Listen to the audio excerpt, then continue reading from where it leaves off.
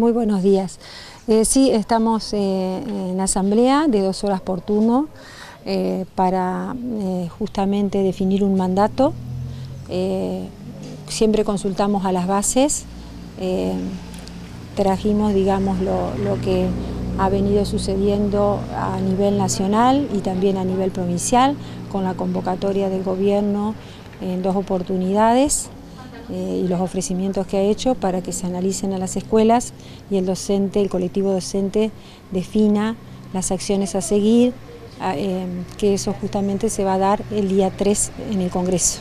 Ya han expresado su rechazo general a la propuesta que hizo el gobierno en la última reunión del día martes. Eh, de todos modos, ¿van a, discutir cómo seguir esta negociación? Sí, exactamente.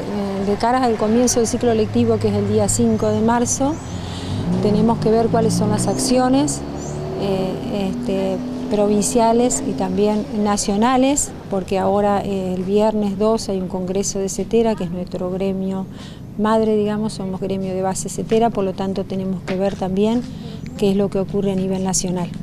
Eh, CETERA tiene la propuesta por parte de Buenos Aires para realizar dos días de paro, el 5 y el 6. ¿Depende de lo que pasa en esa reunión, lo que puedan llegar a decidir ustedes?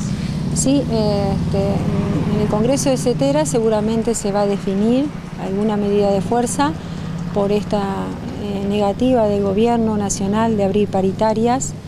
Eh, y bueno, nosotros nos, sumaremos a, lo que decida el Congreso de CETERA y bueno, también a nivel provincial tenemos que definir los pasos a seguir.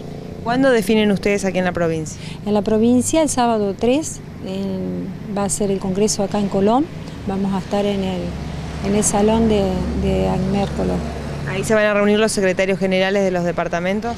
Sí, todos los congresales eh, de, todos los departamentos, eh, cada, departamento trae su mandato y se debate y bueno, se, arriba a una conclusión de cuál, cuál va a ser cuáles van a ser los pasos a seguir. Sabemos que igual el gobierno ha convocado, ha pasado un cuarto intermedio convocado para el día 7 y bueno, este, esa es la expectativa que tenemos de ver qué es lo que va a pasar, eh, porque realmente el 15% para los docentes es insuficiente. Además de, ser insuficiente ese aumento, ¿van a exigir la retroactividad hacia el año pasado de lo que es el 1,3 que les debían? Sí, así es, eso se, ha estado discutiendo también en estas reuniones. Eh, no queremos que se incluya dentro de la propuesta de, este año, porque eso se firmó por paritaria y es algo que el gobierno eh, se comprometió a pagar. Y bueno, eh, creo que en la última audiencia propusieron pagarlo retroactivo a enero, este, desde diciembre es que consideramos que debería ser. Así que bueno, estamos esperando, igual vamos a esperar esa reunión también para ver qué otro ofrecimiento tiene el gobierno. ¿En qué quedó eh, el relevamiento que hicieron de infraestructura para incluirlo también dentro de paritarias? Sí, estuvimos, sí, estuvimos haciendo relevamiento y estuvimos con una reunión muy provechosa, por, cierto. Ahí mismo también este, se entregó un protocolo de actuación eh, elaborado por AIMER con respecto a las escuelas fumigadas. Y bueno, y con respecto a infraestructura estuvimos canalizando todas las demandas del departamento. Sabemos que hay escuelas que, tienen dificultades y bueno, eh, lo importante es aunar esfuerzos y entre todos eh, ver cómo, de qué manera se solucionan y se, se cumple, digamos, con, con refaccionar y acondicionar las escuelas, que las, condiciones edilicias estén dadas para que estén los alumnos eh, dentro del, edificio, así como también los docentes, y nadie corra riesgo, digamos.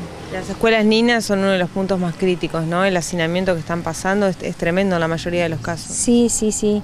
En parte la escuela 12 era una de las más complicadas, eh, se, ha, destinado un dinero de nación y bueno, se están, se están acondicionando las, aulas como para los talleres, que era el espacio que, estaba necesitando. Sí, y bueno, y la escuela 32 también, que tuvo un, inconveniente en las, las aulas de, nivel inicial, donde hubo un desprendimiento de losa, eso también, porque sabemos que allí eh, concurren los niñitos y es imposible que se esté trabajando, digamos, en esas aulas. Y la Escuela de Perucho, un, drama eterno, digo, la obra más lenta del, mundo. También.